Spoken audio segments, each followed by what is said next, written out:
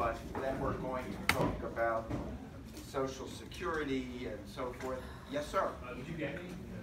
Yeah. Oh. I got you, Tyler. Um,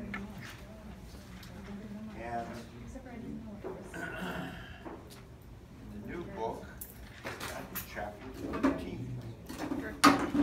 So in the new textbook, we will do chapter 13 tonight. In the old textbook, it's chapter 15.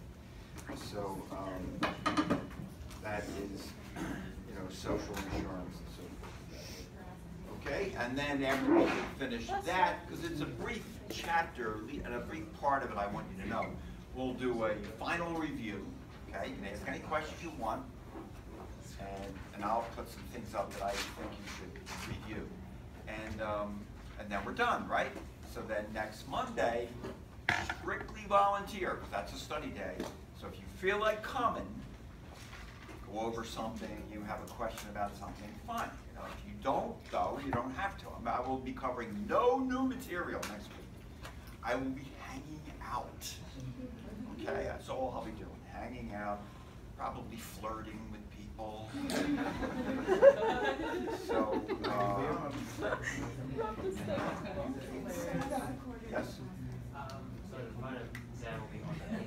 Yes, unfortunately for us, the final exam is on the eighth, so you guys are sort of at the tail end of things. What time is it lead to? Um, well, I think it's at the same time, I think it's the, at the same time as our class. Um, the last time I checked, I didn't see any different time. Has anybody checked? Okay. all right. I will check. If I see anything different, I will, um, send you guys, you know, a, a class email, but I haven't seen anything, it just says normal class time, at least on what I see. Okay? All right, so when we last were talking, we were talking about retirement plans, and we had, we had not covered IRA accounts, individual retirement accounts. Okay? Individual retirement accounts.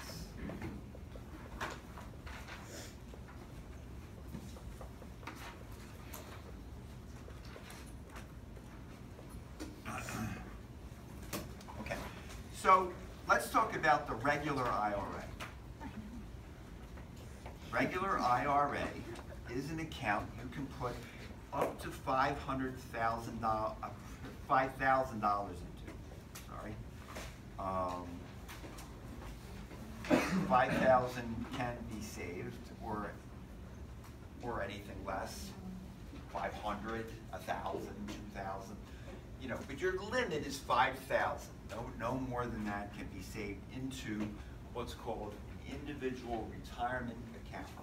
Now, if you are not covered, if when you work in your full-time job, you are not covered by a retirement plan, then your contribution is tax deductible.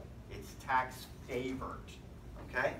So, so let's put that down. If you are not covered by a retirement plan,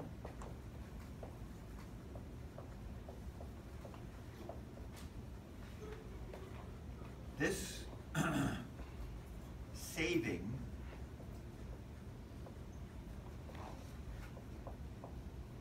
is, let's say, tax favored, okay? we mean by that is you can take $5,000 of your gross income and shield it from tax. So when you're doing your taxes at the end of the year, say you made $40,000, right? You made $40,000 in your regular job, your company took out taxes and all that stuff. But now you get to deduct $5,000, so you're only going to really pay taxes on $35,000. And what happens then is you get a big refund back from the IRS because they say, oh, look at this. You paid us tax on 40, you should have only paid us tax on 35, and we're going to give you back a big refund. That's what we mean here, okay? yes, Joyce? Is that total per lifetime or is that per year? No, this is per year. Okay. 5,000 can be saved per year. Okay, that's a good question. Now, if you are covered by a retirement plan, and most of us, you know, work for companies that provide a 401k plan or some kind of a retirement plan, then you can still make the savings, but it's not tax favored. It, it depends on your income. It depends on how much your income is, okay? So in other words, if you are covered by a retirement plan, okay, and your income is above, I think it's fifty thousand dollars, you don't get any real tax benefit out of a regular IRA. If it's less than fifty thousand, you'll get some benefit, a partial benefit. In other words, part of what you put in will be tax deductible, okay? So let's just say, if, if you are covered,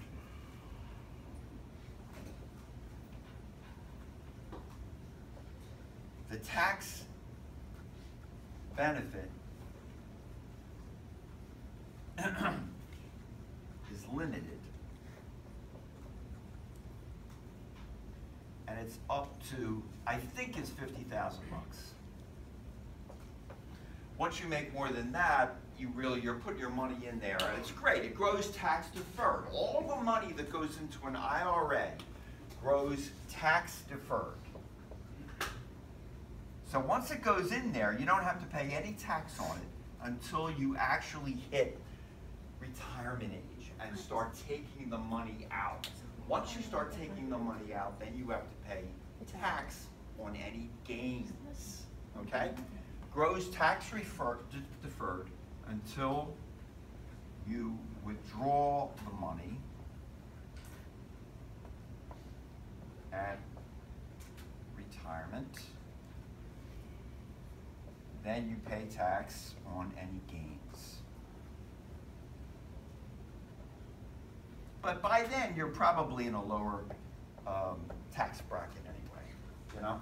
So an IRA is an awesome idea if you can do it, if you can, you know, come up with the money to save. I mean, it's, everybody's hard pressed today. A lot of people live paycheck to paycheck, and it's not easy to find money to save, but would always encourage people, even if it's a little bit, to save it.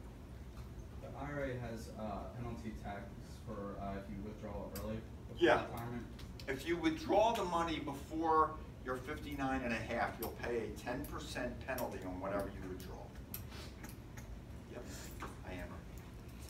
Uh, And these also, and tax, yep, so it's a real, it's a real kick, yeah. and we also set up similar to the mutual fund, like where you're diversifying your money and that like they, they just kind of manage your money for you. Oh, yeah, yeah. As far as where you save the money, when they first came out, you could, a lot of banks were like, hey, we're offering good interest rates, save it here. But they quickly lost most of the market to the mutual funds like Vanguard. So Vanguard is really, um, or a Fidelity or a T. Rowe Price. These are like the big mutual fund families. They're really where you want to go, set up a, an IRA and then, you know, have it come out of your checking account every month. Have fifty or hundred dollars come out of your checking account every month, go into this account. It's an awesome way to save, really, awesome way to save, if you, if you, uh, if you can do it. Okay, so this is the regular IRA. Now remember, the money may or may not be tax deductible depending on your income. Okay, I'm not gonna, I'm not going to, uh, uh, test you on that. You know, that, that, that's just something you should know. It- You know, if you, if your income is under fifty, you'll get some kind of a tax benefit out of it, which is great. But the real benefit for anybody with an IRA is that the money grows while it's in there, tax deferred. No taxes come out of it, nothing, you don't report anything on it until you retire and you're in a lower bracket. That's, that's the key, that's really the great thing about it? So, um, so that's the regular IRA, okay? Now, there's another kind of IRA, anybody know what it's called? That's, you guys are good, Roth IRA. Roth IRA is almost the same, up to five thousand can be put in. Can be saved per year.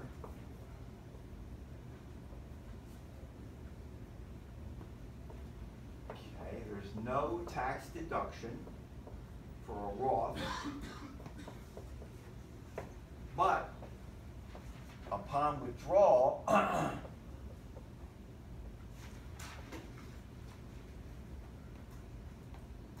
say after fifty-nine and a half,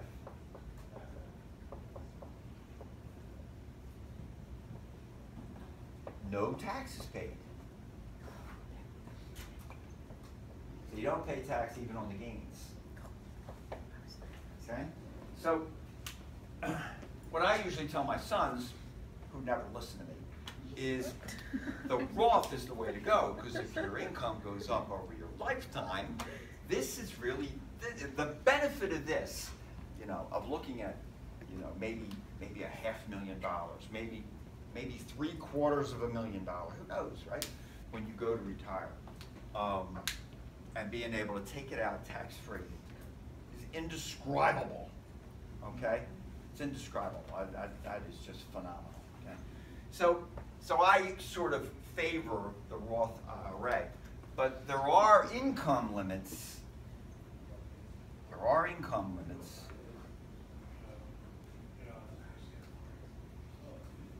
For eligibility. For a married couple, that income limit is $150,000. So if the couple makes more than $150,000, then you can't put money into the Roth IRA, okay? So, so that ended it for myself. Thanks to Temple University. And, um, but when I was younger though, I did put money into an, a Roth IRA. It's in there and it's growing, so that's good. So you can't. So you can have a Roth IRA, and then once you hit that bracket, how do they find out? Well, once you hit that bracket of 150 for a married couple, and I, I forget what it is for um, an individual, it might be 100. Um, once you hit that, you, you simply can't make the, the uh, contribution to the account. And the way they catch you is by an audit. I mean, that's, that's how Well, when you do your taxes too, like if you have it on your thing, a statement as your, then, then your tax person's gonna say, you're not supposed to be doing it. But that." even if you were doing your own taxes, you know, what you're running, the risk is of an audit. You follow me? I don't get. What is the point of stopping people from putting in that five thousand? Um, you, you know, we don't want just the rich to benefit and all that stuff. So they, they, once your income hits a certain limit, they say, we don't, we're not gonna let you put the money in here. So, so that's the answer. Yes. So can you still no, have no the tax. benefits of the money that you've is- already? this Yeah. one isn't tax. So, It's sitting there percolating, you know what I mean? so advice would be put as much in as you can. That's right, that's You right. can't touch it until you're fifty-nine, right? Right. But it's still growing. Yeah. Oh, yeah, I mean, so you retire, I mean, I, look, it's a retirement account, right? Yeah, I have one, and they gave me like this cool paper at the beginning, and they said that if I invested ten thousand dollars in ninety-five and I just let it sit there until two thousand fifteen, so twenty years, if I put in nine, ten thousand, it would have grown to seventy thousand in that market. Like they like put in a fake one, so like it's seven times the amount that Oh, over yeah, twenty years. It's crazy.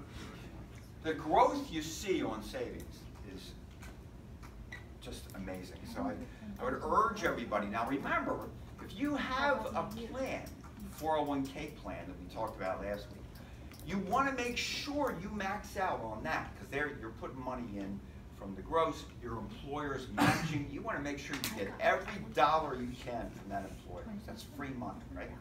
So you want to make sure you're doing that. But this is money if you had, you know, if you had a couple bucks you could spare on the side, this isn't a bad way to do it. Throw some money into this. You follow me? So, um, Why would anybody choose the IRA versus the Roth then if you're gonna be paying taxes? Oh, I guess if you, there's no income limit on this one? well, see, on the, on the regular IRA, if you're in a lower bracket, you're making 30, 40, 45,000, then there is some tax benefit